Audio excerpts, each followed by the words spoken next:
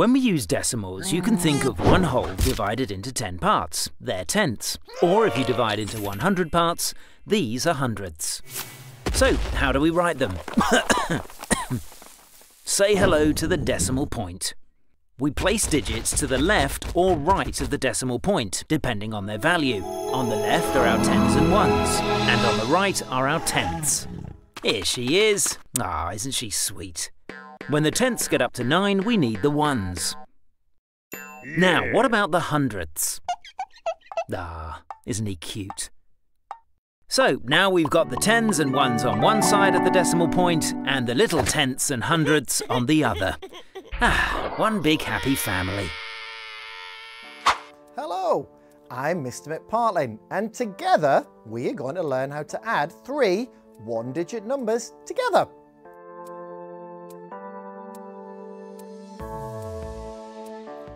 Adding three one-digit numbers, I hear you say, I only normally add two together. Don't worry, it's not as bad as it sounds. I'm here to give you a really handy hint for how you can add the three numbers together quickly and easily.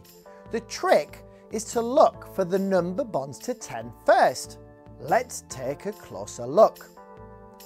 I'm sure all of you are superstars when it comes to number bonds. So now it's time to be a detective to search for them in this number sentence. Let's try 3, add 4, add 7. Hmm, can you spot which two numbers are number bonds to 10? They might not be next to each other, remember? Aha! Found them! 3 and 7 make 10.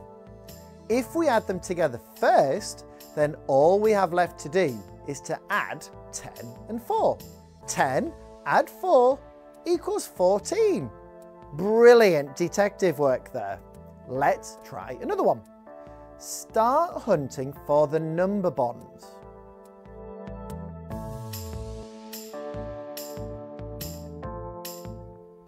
This time we have 2 plus 8 plus 7. Have you noticed which two numbers create a number bond to 10?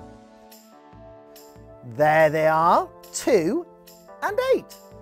Now, they can be added to make 10. That leaves us with 10 add 7, which is 17. Well done, detectives!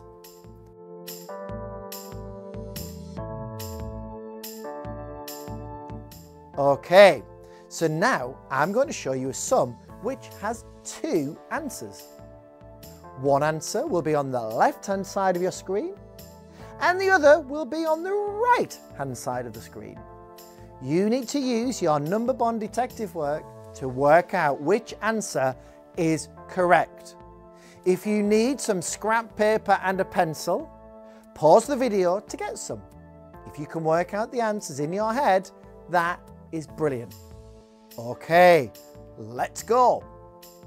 Is 6, add 4, add 3, 13 or 14?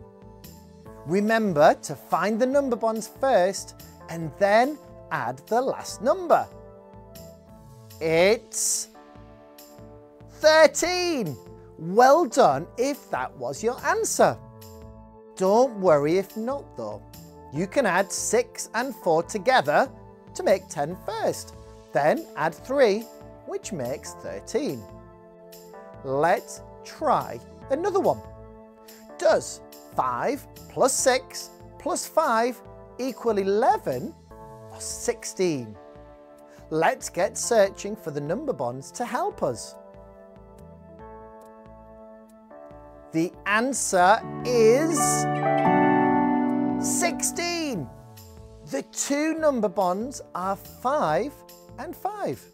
Then, if you add 6, you reach 16.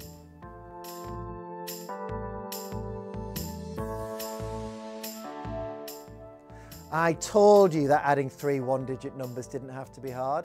Now,